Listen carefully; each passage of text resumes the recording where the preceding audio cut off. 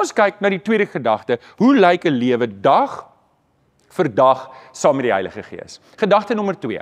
Jy kan dit iewers neerskryf in jou notaboekie. Lewe elke dag in die eenheid van die Heilige Gees. Lewe elke dag in die eenheid van die Heilige Gees. Paulus skryf aan die Efesiërs in Efesiërs 4 vers 3: "Lê julle daarop toe om die eenheid wat die Gees tussen julle gesmeed te handhaaf deur in vrede met mekaar te lewe." So ons het twee woorde hier: eenheid en vrede. Nou wanneer ons oor hierdie woorde praat, dan het dit te doen met die gemeente van Christus. Onthou, ons het baie daaroor gepraat die laaste paar weke dat die Heilige Gees gaan my bemagtig en bekragtig om deel te wees van 'n gemeente, van 'n van 'n geloofsgemeenskap waar ek my gawes kan uitlewe en waar ek die vrug teenoor week kan en en dis wat die Gees doen. Die Gees bring eenheid. Die Gees bring eenheid tussen my en ander gelowiges. Die Gees bring vrede tussen my en ander gelowiges. Hoekom? Want ek word ek ek lê my eie agenda af. Ek kyk nie meer na jou uit my eie oë uit nie, maar ek kyk na jou deur die bloed van die Here Jesus. Ek kyk na jou as iemand wat ook Jesus Christus aangeneem het. En beteken dit jy tekortkominge? Ja, beteken dit ek het tekortkominge? Ja, dit beteken dit. Maar ons lewe nie meer in veroordeling teenoor mekaar nie. Ons lewe nou in eenheid en vrede. Nou, hier is boksies wat ek en jy moet tik in ons lewe om te kyk. Maar is daar eenheid en vrede tussen my? En ek moenie sê, "Ag, oh, maar daai ou en daai ou, hierdie is ek." Ek moet kyk en ek moet self ondersoek doen vir die Here en sê, "Is ek gehoorsaam?" Ons het oor die eerste een gepraat van die beheersing van die Gees, want as ek my lewe laat beheer deur die Heilige Gees, dan gaan ek eenheid en vrede nastreef. Nou, Diversiteit is iets wat ons het in die kerk en dis gesond. Die Here, die Here het alles divers gemaak. Ehm um, dis nou blommetyd hier in die Kaap en ek is nou ongelukkig weer dit gemis. Ek is nou seker 16 jaar hier in die Kaap. Ek het nog nooit gaan blomme kyk nie, so ek moet nog daai geleentheid aangryp.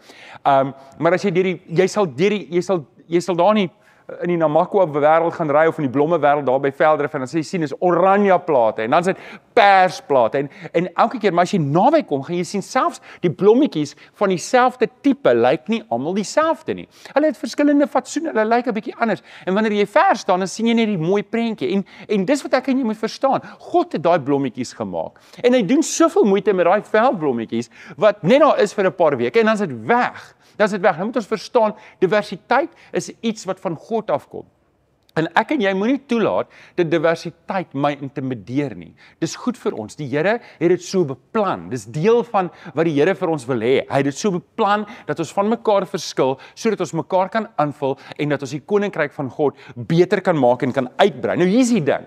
Ek en jy moet dalk op ons gewone, op ons inhibisie en ons eie ambisie, ons moet dit laat vaar. Ons moet dit laat vaar en sê, Here, U het 'n plan wat baie groter is, is my plan. En baie wyer is as my plan. En ek kan dit nie insien nie. Ek weet nie wat môre vir my wag nie. Ons gaan nou by die volgende punt ook daaroor praat. Maar ek gaan dit laat gaan en ek gaan U vertrou en ek gaan eenheid en vrede najaag al verskil ek met party mense. Kom ons kyk net weer na daai vers. Lê julle daarop toe. Daardie lê julle daarop toe beteken dis iets wat ek moet najaag, nastreef. Lê julle toe om die eenheid wat die Gees tussen ons gesmeed te handhaaf deur in vrede met mekaar te lewe. sien reg deur hierdie reeks sal jy agterkom.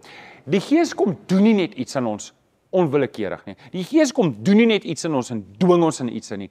Die Heilige God nooi ons as deel uh, om deel te wees van sy planne, om om saam met hom te werk. Hy forceer homself nie op ons af nie. Jy sal dalk al iewers gehoor het maar die Heilige Gees is 'n gentleman. Hy sal homself nie op jou afdwing nie. En hier is presies dit, want God wil hê jy moet deel wees van sy koninkryk en jy moet sê, jy moet vrywillig kom. Jy moet vrywillig oorgee en jy moet vrywillig jouself onderwerp aan sy wil en aan sy plan.